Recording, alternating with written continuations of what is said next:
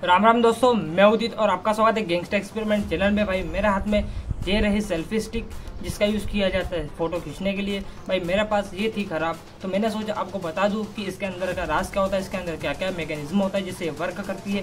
भाई, ये पिन जो होती है मोबाइल में लगती है तो यहाँ पे बटन होती है जैसे सेल्फी का क्लिक होती है सेल्फी क्लिक होती है और पिक्चर अपने सामने आ जाती है। ना देरी कि आप इस वीडियो में नए हो तो लाइक कर देना और इस चैनल को सब्सक्राइब कर देना। Thank you